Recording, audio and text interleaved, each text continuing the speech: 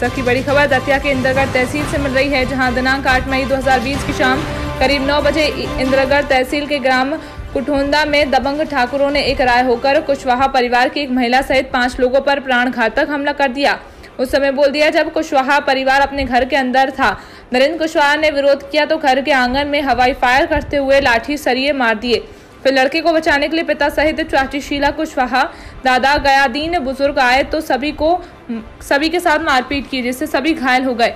तभी किसी ने डायल हंड्रेड और 108 बुलाकर घायलों को स्वास्थ्य केंद्र इंदरगढ़ भेजा गया, जहाँ से तत्काल प्राथमिक उपचार के बाद दतिया रेफर किया गया।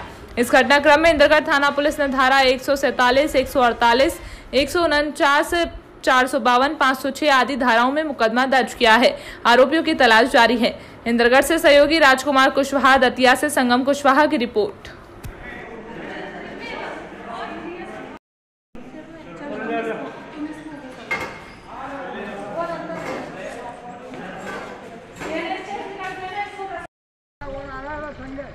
क्या नाम है आपका? एक किन लोगों ने हमला किया आपके ऊपर?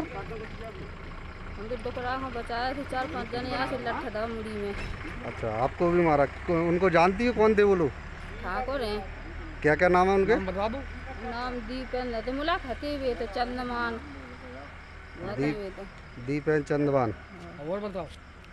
और जानती किसी को? लखनदा के। मुलाक हम भीड़ में हम का चीने में आप अपने घर पे थी? बता दो। घर पे आते कि बचा रहे थे गली में? अच्छा। पे? बीच बचाव पे। बीच बचाव कर रहे क्या नाम है आपका? शीला। शीला। नाम क्या है आपका? गणेश गणेश जी कौन गाँव से? उठौंदा और आपके झगड़ा किससे हुआ?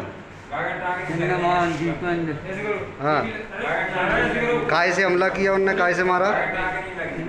तलवार बंदूक। को गोली चलाई घर गोली चलाई किसको लगी? हाँ? गोली किसी को लगी? गोली चलाई था गोली और लट्ठन से भीतर घर में घुस के मारे चैन के। अंगूठी वगैरह चुरा ले गए। सब घर सब घर में घर पे घुस घुस के मारे भीतर।